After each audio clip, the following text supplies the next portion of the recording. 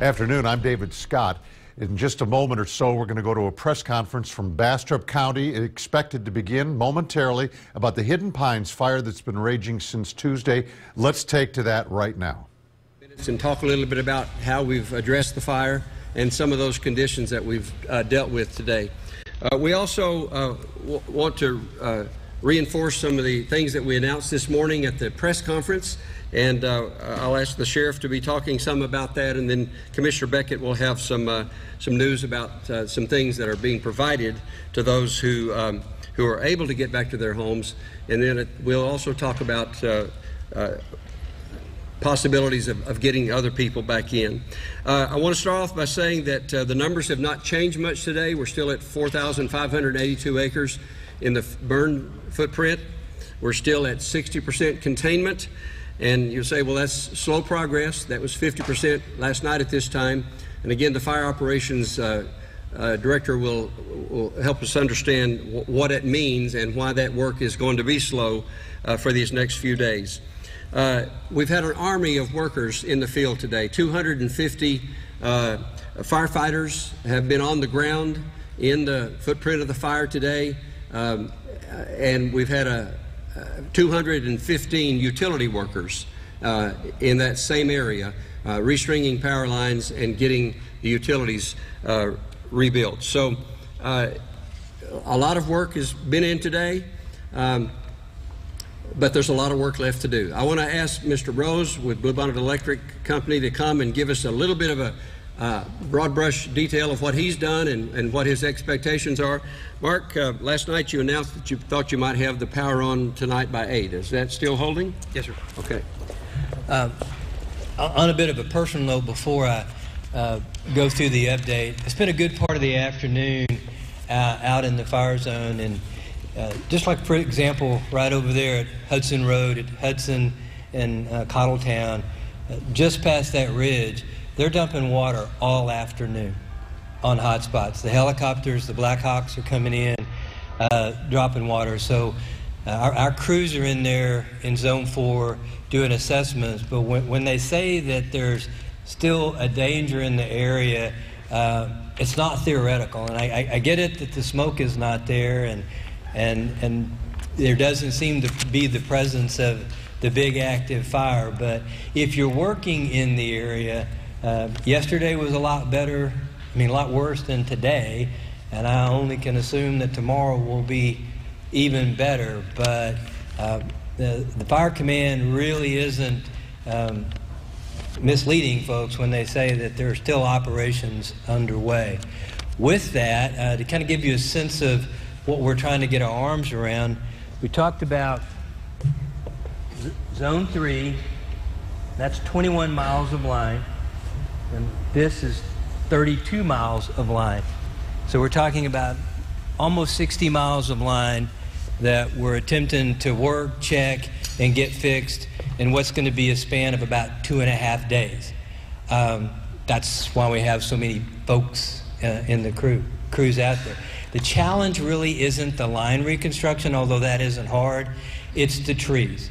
Uh, we're now up to 1,300 trees that we're having to either cut or and haul out or mark to be watched later. Today, our crews removed 284 mature trees, and that means cut them down and haul them out uh, in order to make the 8 o'clock deadline.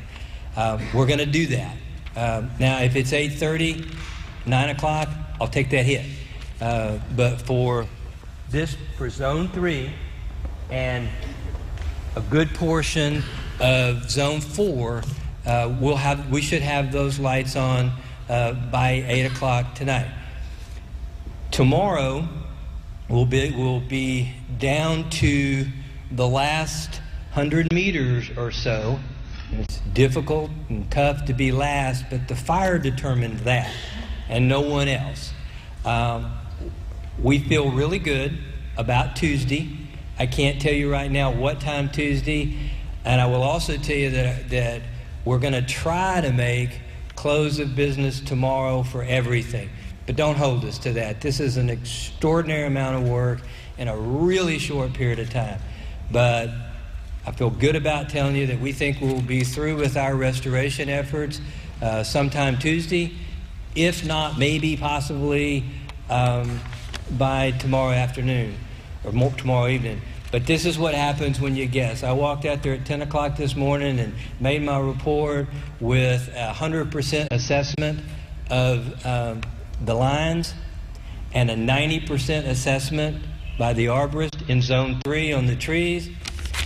Everybody tell me they feel good about that. And at 3 o'clock, I'm having a meeting because in that last 10% were 80 of the biggest trees we've seen yet. But they're on the ground. Uh, and, and we'll make our deadline. So, zone four is going to be easier to work. It's 32 miles, but it's not as many poles and it's not as many trees. So, we're at it. The crews are working, and we hope to be out of here Tuesday for sure. Maybe, maybe, maybe close the business tomorrow. We'll let you know in the morning. Thank you, Mark. And let me just say again uh, how much we appreciate the tremendous work that Bluebonnet and Aqua have done uh, to prepare for us uh, to, to uh, re-enter this fire area. At this time, I want to turn this map over and show you some things that we announced this morning. I realize not everybody is on social media. You don't carry an iPhone or uh, look at your computer all day long like some of us do. So you may not know this. But uh, we were able to announce this morning that some additional area has been opened outside the fire footprint. That would be the area uh, hatched in green, cross hatched in green on the north side of the fire, part of Old Antioch Road, part of Antioch Road, and part of Gotier Trace. Uh, those, uh, those areas have been available. We talked about it last night, and entry has to be from the north. We cannot cross the fire footprint.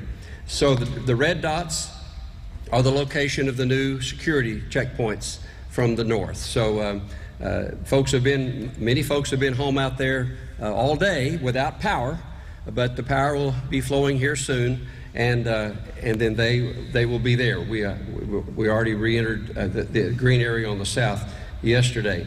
Now, these reentries uh, are are in were possible because of two things. One, outside the fire footprint, so there's no firefighting activity going on in those areas, in the green areas.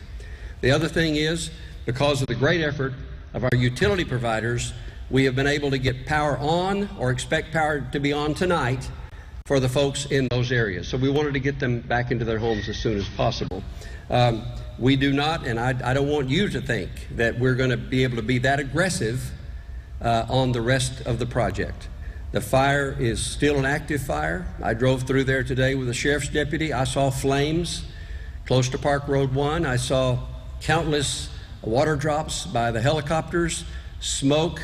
Uh, I saw hundreds of workers, firefighters, and utility workers doing their dead level best. All right, that is Paul Pape, the county judge in Bastrop County, telling us that the acreage burned remaining steady today at about 45 180 acres charred. The containment is edging up to 60%. It's been another good day with low winds.